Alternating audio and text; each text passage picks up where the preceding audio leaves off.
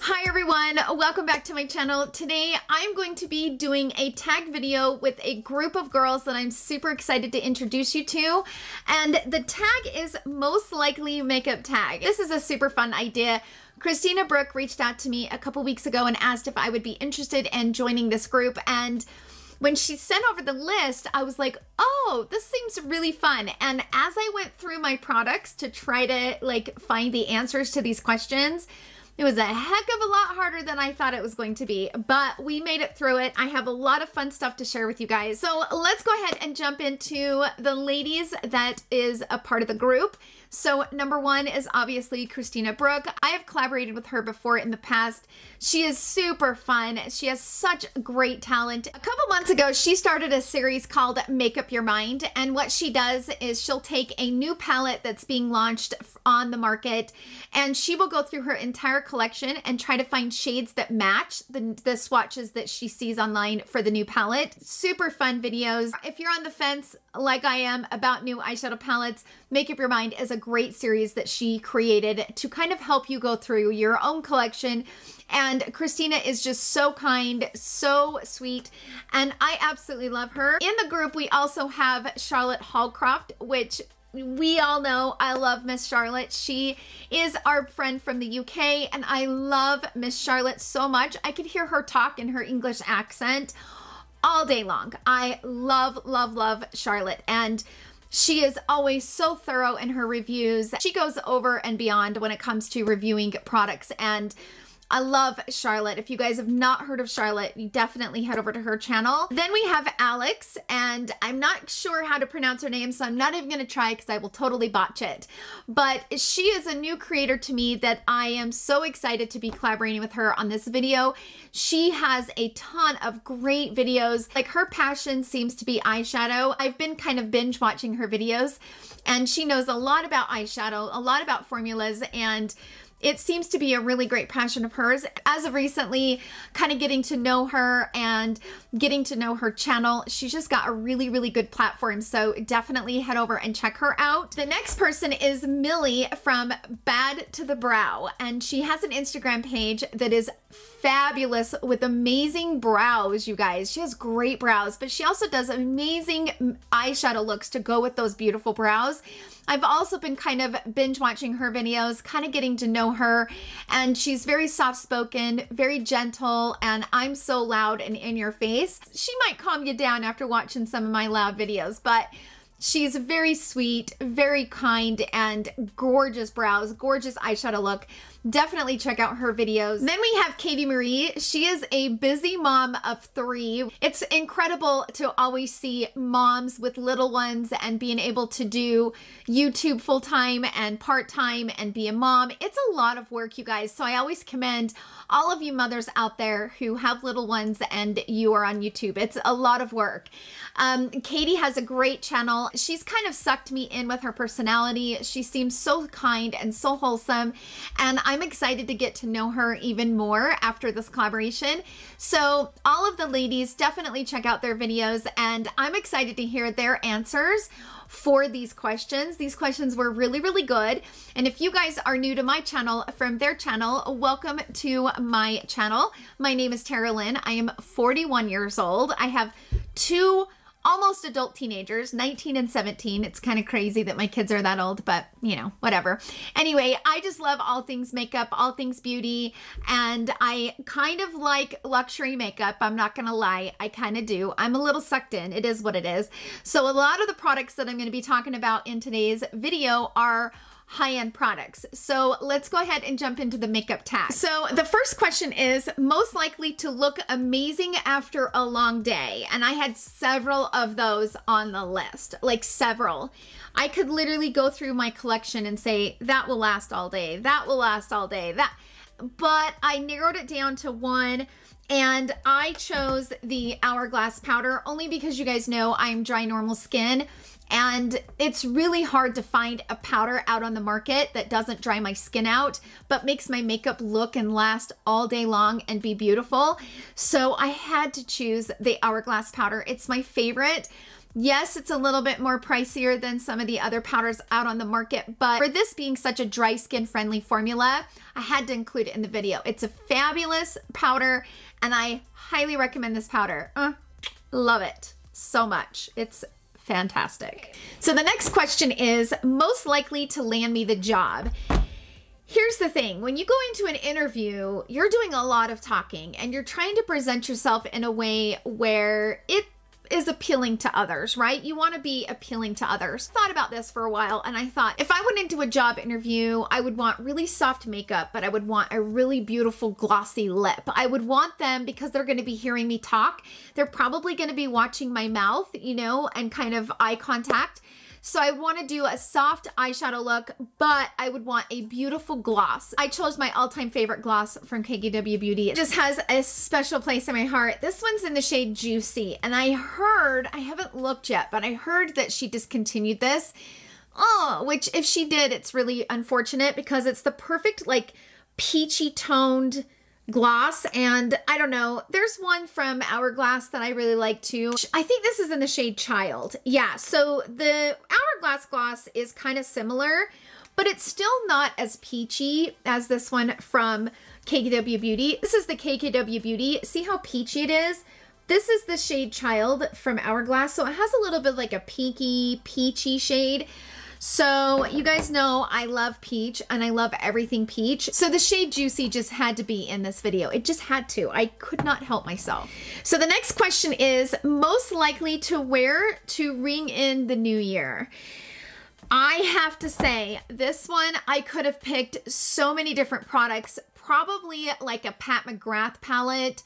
If I had to pick a palette, it would probably be Pat McGrath, only because we all know that her palettes are just bomb. So I had to pick the Pat McGrath number five palette just because this is like total New Year's Eve worthy. It's such a beautiful palette.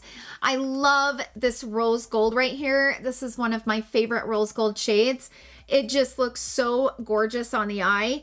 And I would probably do something with like these shades, you know, these matte shades pop this on the inner corner, pop this on the lid, maybe, maybe come out of my shell a little bit, maybe add a little bit of the holographic. I don't know.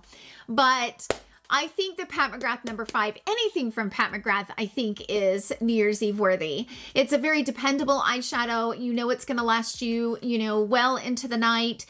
And yeah, had to be Pat McGrath for sure, 100%. The next question is most likely to get decluttered this year. I don't know that I'll declutter it. I'm still on the fence about it, but I have to say it's the Metropolis palette. I think this is like, I just do not like this palette. This palette is not me. There's a lot of the cream to powder matte formulas in here. And as you guys know, for those of you that watch me all the time, you know that her cream to powder formula is not my favorite, like this shade right here. Those shades are very hard for me to blend out. It's one of those shadows that is almost too creamy to really get it to blend very good. I don't know. I just, I'm not a huge fan of the cream to powder formula, but I know there's so many out there that absolutely love it. It's just all based on our own preferences and our own techniques, but this is just not my favorite palette. I have tried this palette so many times. I have really, really used this palette a lot and I just don't love it. It's not my favorite. It's on the chopping block to be uh, decluttered this year. So there's that. For those of you out there that love that palette, I apologize in advance. the next question is most likely to get me the guy. Okay, so I had to go with a Charlotte Tilbury. You guys know that Charlotte Tilbury is one of my favorite brands. And I had to pick one of her palettes only because all of her eyeshadows just are very romantic and they give a very romantic look. So I had to go with the Instant um, Pillow Talk palette. I like the Pillow Talk quad, but it's my least favorite from Charlotte Tilbury only because it just doesn't really show up on my skin tone that well. But the Instant Pillow Talk palette, on the other hand, it has a lot of mattes and they're just very soft and you can do like a like a day to night date night look with these palettes and it's just soft and romantic and I think that's what I love most about this palette And my husband is not really into those really strong, bold eyeshadow looks. He likes more of the softer makeup. He's just not into it. You know, it is what it is. I wear it anyway. It doesn't stop me from wearing it. He doesn't love it like he loves a softer makeup look. And so to do a soft makeup look, I always pull for something from Charlotte Tilbury. This palette is definitely gonna get me my guy. I mean, even though I've had my guy for 20 years now, but you know what I mean. The next question is, most likely to be my new favorite for the year. Tell about a couple of days ago, I probably would have said the Hourglass ambient strobe, what's this called? The ambient metallic strobe lighting palette. I have fallen hard for this palette, but Miss Charlotte Tilbury launched these bronzers that I am so completely obsessed with. I have a feeling this is going to be my new favorite product of 2020. I love the formula. I love the pigmentation. I love how it's a bronzer and a powder combined. It's such a beautiful bronzer, you guys. I can't help myself. This is my new favorite product. And it's definitely, it's going to take a lot to beat this. It's going to take a lot. I just have to say that. It's going to have to take something to really wow me in order to beat this for 2020 because this is such good bronzer. Oh my gosh. Next question. Most likely to get me into trouble. Well, ooh, I probably have to say the Tom Ford quads. I only have two, but I have a feeling that I'm going to probably start buying more of these, which I really don't need them so that's why I say they're going to get me into trouble because I don't need them, but I want them. You know what I mean? So they're going to get me into trouble because I don't need an $88 four pan quad palette, but I want them. You know what I mean? Uh, my first palette, uh, okay, so this is the Body Heat Tom Ford. Love this palette. Oh my gosh. So pretty. So easy to apply. This is a type of cream to matte formula that I like. It still has a little bit of that powder to kind of blend it in, but it's creamy at the same time. Such a beautiful, beautiful palette. Then I recently picked this up for like 40 bucks on his website. This is, I don't even know how to pronounce it. This is the Soleil et Lanoon. Lanoon? I have no idea. This is what the palette looks like. It's beautiful. I love this palette. In fact, a couple weeks ago, I used this palette for the first time and I put this on my inner corner. I put this in my crease. I put this out on my outer corner and then I used this as an eyeliner. It was stunning such a beautiful palette. And you know i recommend watching tom ford's website. They do some really good sales on there. We'll just have to see but i might be building a collection. I don't know. That's why it's probably the most likely to get me into trouble. Next question. Most likely to be in my regrets video. I was conflicted with this because I know that a lot of people probably won't agree with me on this, and that's 100% totally fine. I think, we, you know, we're all entitled to our own opinion. So I have to say the cream bronzers from Fenty, and the reason why I chose these is because you guys know that I love, love Fenty Beauty's bronzers. Loved it. It was my favorite bronzer, well, until now, until the Charlotte Tilbury. But since I first bought the Fenty Beauty bronzers, I fell so hard in love. And then when I heard that they were bringing out a cream formula, I was just completely overexcited, just could not wait. But I was so disappointed in the pigmentation and they just don't last very long. Like when I put it on, they just blend away and I just don't like how I have to keep packing it on. And the problem with a cream bronzer that you have to be careful with is that if you keep continuing to pack it on and pack it on, nine times out of 10, the more you pack, the more you, you run a risk of losing the pigment, the more likely you're to get it to look muddy and gross. And because I'm older, I like to go in light-handed on bronzer. I don't like to go in really heavy-handed. And these just were not my favorite. It's not my favorite formula, and it's definitely kind of a regret. But for those of you that love it, don't shoot the messenger. It's just my opinion. The next question is, most likely for me to hit pan on. Well, I mean, duh, I've already hit pan on it. Like, this is like my third compact. This is the Charlotte Tilbury Airbrush Flawless Finish powder. I'm obsessed with this powder. I like to apply this powder right here in the center of my face. Like see a little bit of that gloss? Oh, I just like to go in and just add a little bit and get rid of that shine right there. It's fabulous. One of the best powders. So finely milled. You guys know I love this powder. It is my ride or die powder. And I hit pan on it all the time. So there you go. So the next question is most likely to get me compliments. Well, this one was very easy because I get compliments on my highlighter every single time I wear this palette. You guys, this palette is bomb. Bomb. And normally, for me being older, I have to be careful wearing something this strong. Uh-uh. This just melts into the skin. Like you can't see it sitting on the skin, but it highlights in such a beautiful way. What I also love about this formula, it's very buildable. So I can go in a little bit heavier handed and have it really shine, or I can go in really light and just kind of, you know, give the lift to the skin. Such a gorgeous palette. I am obsessed with this highlighter palette. And every single time I wear it, somebody says something like, oh my gosh, I love your highlight, or how did you get your cheekbone to shine like that? So there you go. Okay, the next question is most likely to repurchase. Okay, so all of the products that I have talked about in this video, I could possibly say I would repurchase them all, right? I mean, I could. But I'm probably going to have to go with the Hourglass Concealer only because this has just become uh, such a game changer when it comes to me and my concealer and what I love. And every time I apply this concealer, I fall more and more in love with it. And, you know, whenever I'm testing out new concealers and every time I go back to this concealer, I just love the way that it looks and I love how long it lasts. It looks beautiful all day long and I never have to worry about it looking weird, looking thick and crazy. And oh, it just makes my under eyes look so much softer and so much prettier. And I'm obsessed with it. I have it in two shades, one for like my spot concealing for my skin and then one for my under eye. I only wear it maybe a shade or two lighter than my actual foundation, but I wear the shade Beach on my under eye and I wear the shade Dune as just kind of like a little bit of an extra if I need a little bit of coverage on the rest of my face one of the best concealers on the market, hands down. But I've noticed with this concealer, people either love it or hate it. It's like there's no really in between. And for me personally, I'm completely obsessed. I'm head over heels in love with this concealer. The next question is most likely to splurge on. Okay, you guys are probably going to reach to the camera and smack the crap out of me when I answer this question.